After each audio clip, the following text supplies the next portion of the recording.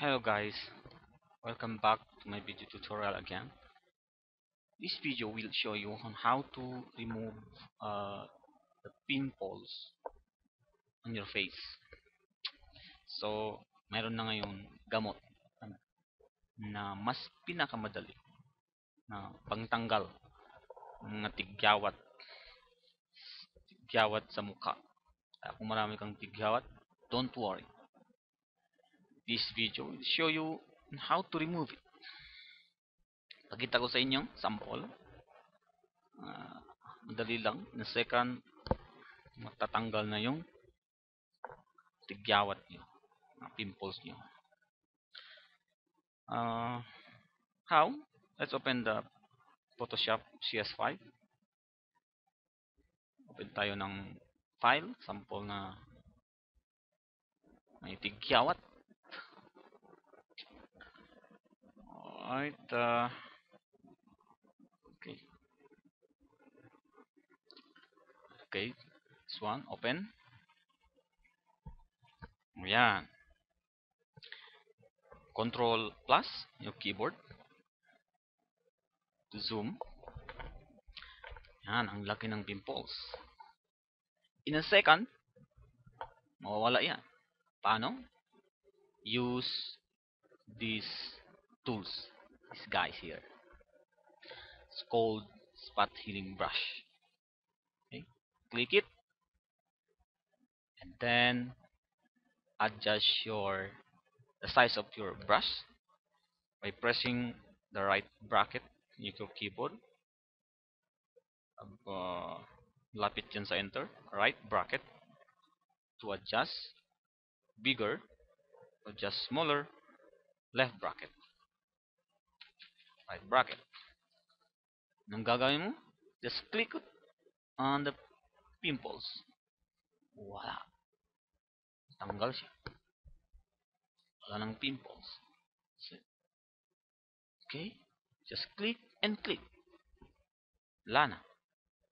Wala na siyang pimples. In a second, wala ka ng pimples.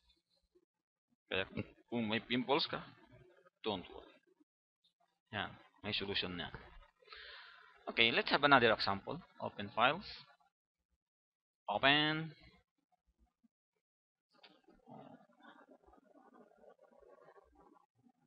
Like po sa ito. Bawa yan. Dami ng pimples. Okay. Let's press F7 to view the layer. And kopyahin natin ng layer. Ito para meron tayong original, magawa tayo ng isang layer by pressing Ctrl J.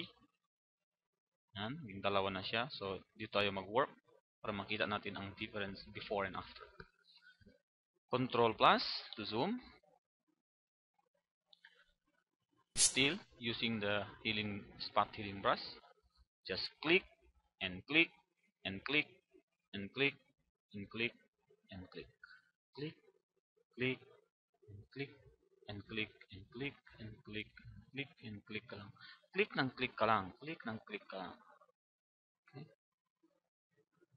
Siya na ang bahala. Spot healing brush. Ang magtrabaho. Wala kang gagawin, mag-erase o magkulay. Hindi. Healing brush lang. Okay. Click and click and click click until such na ma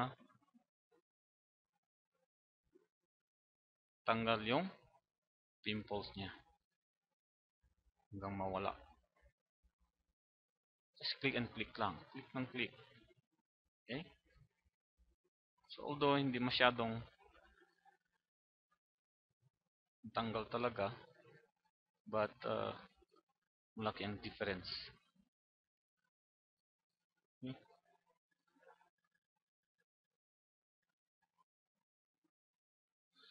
So,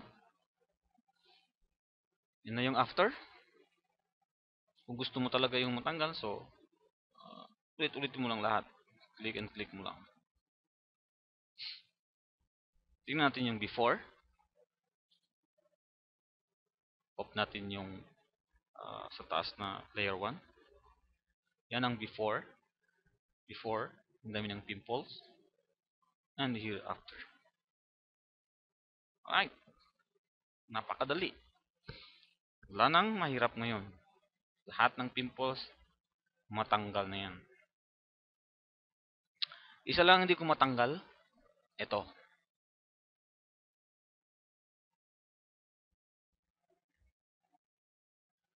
yan.